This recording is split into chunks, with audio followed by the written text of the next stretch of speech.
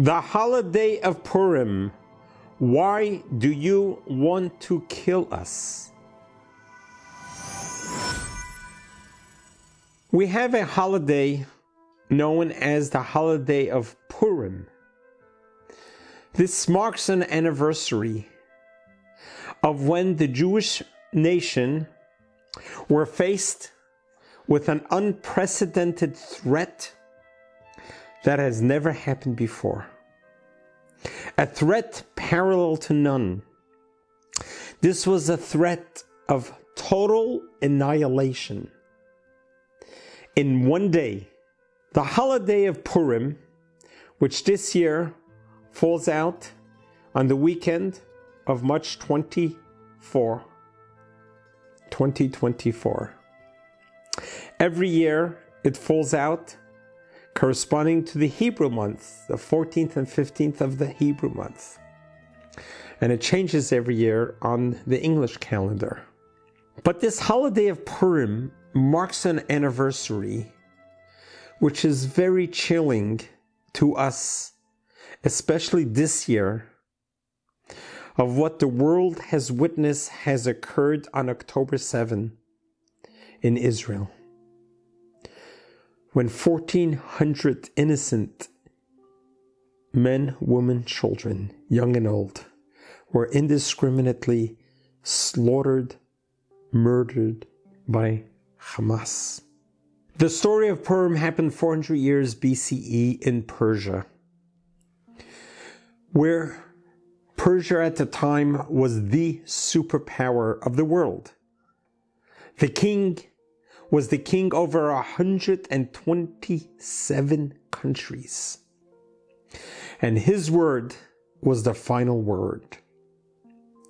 As the story of Purim unfolds itself, where King Ahasuerus was seeking for a new wife, had a beauty pageant, and the only one that King Ahasuerus saw favor was Queen Esther. In his courtyard was the great Rabbi Mordechai. Mordechai, the righteous one.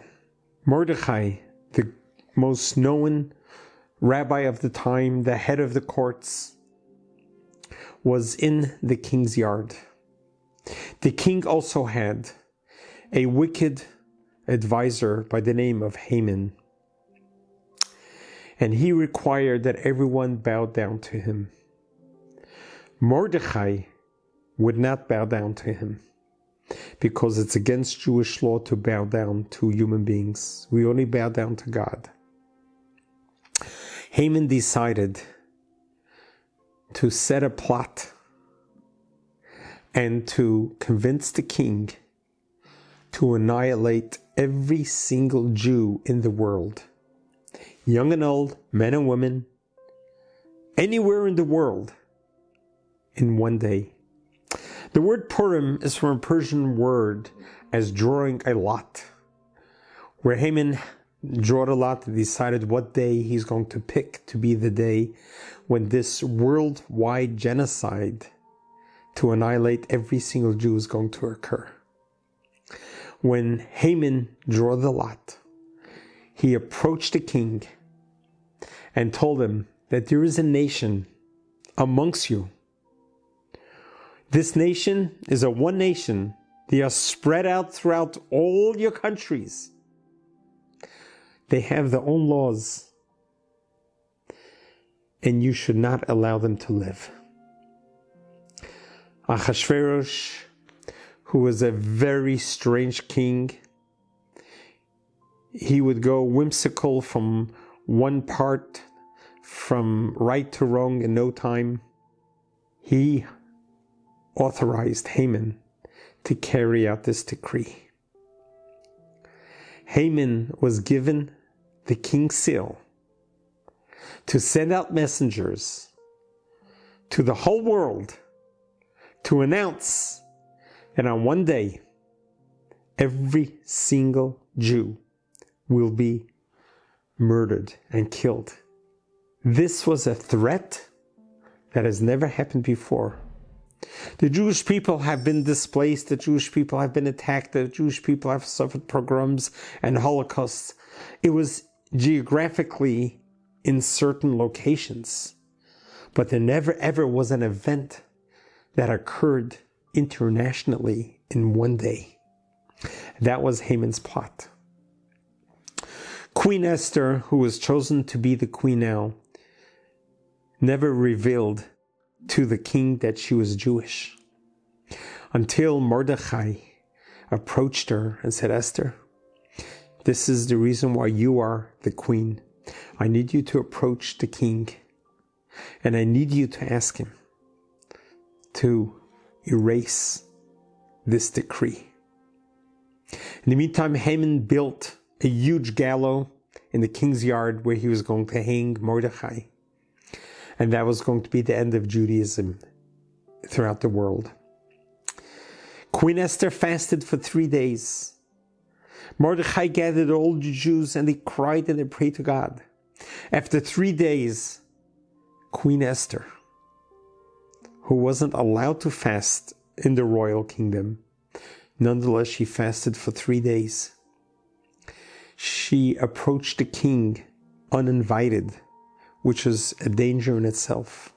When the king saw her, he welcomed her and says, What is it that you want?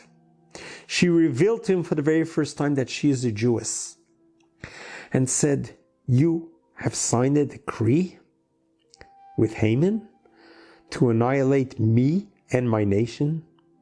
And the king said, Oh my God, I did not realize that. Who exactly is doing this? And she pointed the finger at Haman. And the king immediately flip flopped the whole decree and he told Queen Esther, This will not happen. As a matter of fact, I'm going to recall all the messengers who was who was so hastily running to send a decree I'm going to recall them. As a matter of fact, I'm going to take the gallows that was prepared for Mordechai and I'm going to hang Haman and his ten children. And I'm going to give the Jewish people unprecedented freedom and free from taxes, etc. In one moment, everything got flipped upside down. One moment, the Jewish people were being annihilated in one day.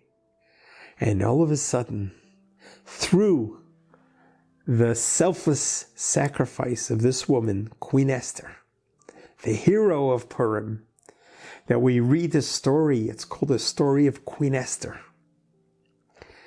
that the Jewish people's life was spared. Not only were they spared, but they all repented to God and they all rededicated themselves to God. That they, they turned a leaf, even though they have assimilated so much into the Persian life when they saw this miraculous turn of events, they returned back to their roots and they began observing the Torah laws just like it was given at Mount Sinai. It thus has become declared this day to be the happiest day of the year. This is the holiday that's celebrated every single year of this miraculous events. There's so much that we learn from this story. We learn how God Almighty in heaven ultimately controls everything. No matter how bleak our predicament may look, it could be flipped over in a second. Purim is all about flipping things over. As a matter of fact, many people dressed in masquerade. Many people think it's the Jewish Halloween. It has nothing to do with Halloween whatsoever. It's masquerade because it reminds us how God's miracle was masqueraded. And through that concept, children come dressed in costumes and adults are dressed up in all different types of costumes. But how do we celebrate it? We celebrate it by retelling the whole story of Purim again and again. Every year we read it two times, one in the evening, one during the day. But we don't just read the story, we relive the story. Every time we mention Haman's name, we pound on the ground to blot out his name and what he stood for. But how do we express our gratefulness to God for sparing us? The way you do it is through unconditional love.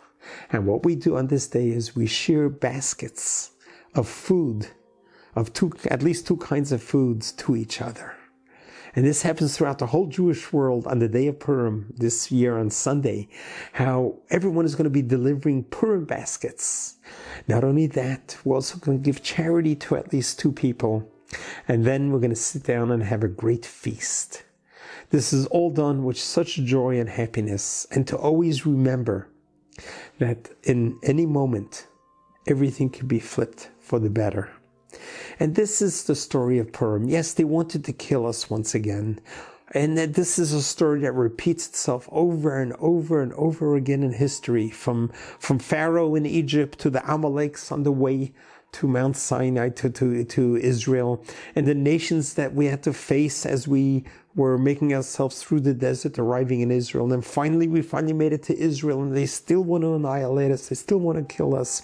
And we've been through all the Holocaust programs and genocides, all these horrific events. But Am Yisrael Chai, the nation of Israel, still lives on. So even though they want to kill us, they'll never annihilate us because God has blessed us so that we can do what we do best is be creative and be a contributing nation to the world.